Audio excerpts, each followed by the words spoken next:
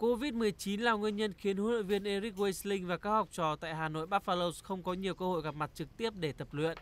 Thế nhưng dù gặp nhiều trở ngại, thầy trò huấn luyện viên Weisling vẫn cố gắng khắc phục khó khăn bằng những cách như thế này. Với mỗi cầu thủ ở từng vị trí khác nhau, vị chuyên gia đến từ Mỹ lại có những bài tập khác nhau để phù hợp với thể trạng và yêu cầu chuyên môn của từng người.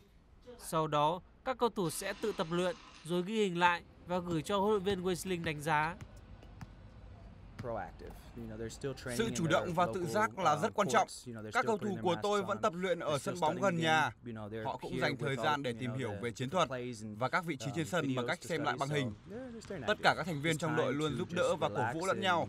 Tôi động viên các học trò chủ động tập luyện, không để thời gian trôi qua lãng phí và luôn cố gắng cải thiện bản thân qua từng ngày. Đó là điều cần có của một vận động viên chuyên nghiệp.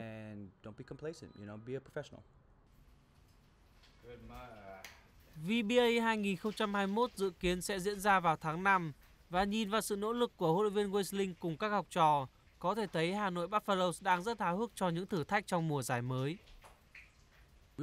Chúng tôi muốn vô địch, vì thế toàn đội phải làm việc thật chăm chỉ và kỷ luật để phát huy được sức mạnh của đội bóng. Tôi nghĩ chúng tôi sẽ vào được trận chung kết.